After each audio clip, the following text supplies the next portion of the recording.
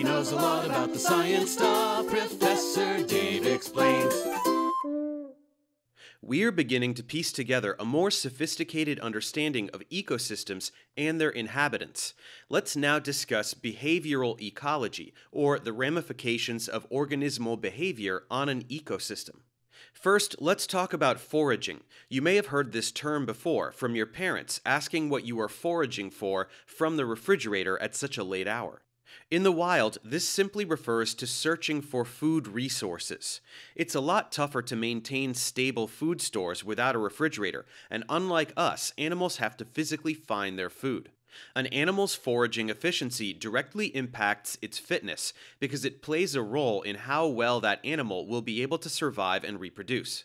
The ecological payoff of this efficiency is a higher ratio of energetic gain to the cost of foraging. In other words, animals experience pressure associated with figuring out how to best maximize energy per unit time. Learning quickly is key to successful foraging behavior. Since environments are constantly changing, the ability to adjust foraging behavior is of ultimate importance for an animal's survival. In primates, the young learn from their elders simply by watching others forage and then copying that behavior. This trains the young on what is safe to eat as well as how to eat it. Foraging innovation is when an animal eats a new food or uses a new foraging technique in response to a dynamic living environment. This is considered learning because it involves behavioral plasticity on the animal's part. An example of this type of foraging is birds following tractors and eating frogs or insects killed by the tractor. Now let's discuss parasitism. Parasitism is a form of symbiosis. It is considered a long term relationship, but not a healthy one. One organism, the parasite, causes harm to another, the host, for its own survival. The parasite utilizes the host as a habitat and depends on it for acquiring resources. Some common examples of parasites include those which live on the skin and suck on the blood of their animal hosts, like ticks, lice, leeches, and fleas. The three main classes of parasites that can cause disease in humans include protozoa, helminths, and ectoparasites. Protozoa are microscopic single celled organisms. These can live in a human's intestine as well as in the blood and tissues when transmitted via an arthropod vector, like a mosquito or tick. They're tiny, but they pack a nasty punch in the gut, quite literally. Helminths are large multicellular organisms that are generally visible to the naked eye when in adult phase.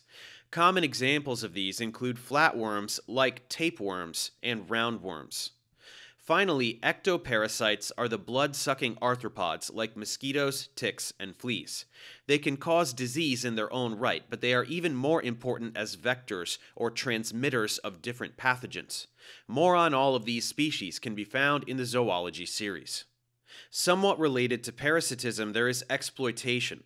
Exploitation is the interaction between populations that enhances the fitness of one individual while reducing the fitness of the exploited individual. For example, predators kill and consume other organisms instead of relying on them for a prolonged period of time, which is different from parasitism. Continuing from there, we have mutualism.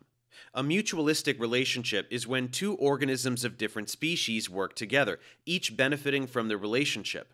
Humans require oxygen for life, and plants use the exhaled carbon dioxide from humans for photosynthesis. Both humans and plants are mutually benefited. Certain insects, like ants and termites, rely on each other to work as a team to build mounds where the group will live. In the ocean, clownfish and sea anemones have a mutualistic relationship where both species benefit. The anemone provides the clownfish with shelter and protection from predators, while the clownfish provides the anemone with nutrients in the form of waste, while also scaring off predator fish. Now let's examine competition and its influence on natural selection. Intraspecific competition is the type of competition that occurs between members of the same species. For example, consider males of the same species competing for mates in the same geographical area. This type of competition is a basic driver of natural selection because it leads to the evolution of better adaptations within a species. Competition, more broadly, can be described as an interaction between organisms or species in which both require the same resource. Besides a mate, this could include things like food, water, or territory that is in limited supply. When two species compete for the same limiting resource, reduction of the niche overlap may lead to evolutionary changes in both species. Here, niche overlap describes the situation in which co occurring species share part of their space with each other. High overlap may lead to conflict. The dominant species might not change and can even expand its niche, reducing space for other species, leading to even more competition. Other than the classic examples of animals fighting over territory, food, or water, plants also compete with each other but for light exposure, growing space, and pollinators, while microbes compete for chemical substrates. Mate choice can be defined as the process that occurs whenever the effects of traits expressed in one sex leads to non-random mating with members of the opposite sex. Why is it important? because it contributes to selection of a vast array of traits, some of which are very beneficial from an evolutionary standpoint. Bright colors, exhibitions of strength, and rhythmic sounds all play a role in trying to attract mates. Usually the males take the lead on this, although in humans, females may show off as much as males.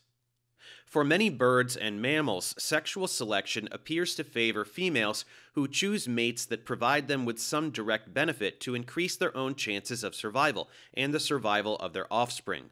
This can include food, a safe home, or fewer parasites. Lastly, let's examine social groups. Social behavior and groupings correspond to a set of interactions among individuals of the same species, leading to some benefit. The most highly social animals form tightly knit colonies. A good example of this is ants. Many social behaviors of animals are adaptive, meaning that being social increases an animal's fitness and therefore its lifetime reproductive success. What are the reasons that animals might group together? One reason would be to fend off predatory aggression. A pack is stronger and looks more intimidating than a solitary animal. Then, of course, there are the intricate behaviors of ants and bees in collecting resources according to specific tasks. Social costs are a problem. For example, herd animals may overgraze an area, leading to not enough food for the individual animals. But oftentimes, the costs are much smaller than the overall benefits of defense against predation. With aspects of behavioral ecology understood, it's now time to zoom out and examine entire populations next. Thanks for watching. Subscribe to my channel for more tutorials. Support me on Patreon so I can keep making content. And as always, feel free to email me, ProfessorDaveExplains at gmail.com.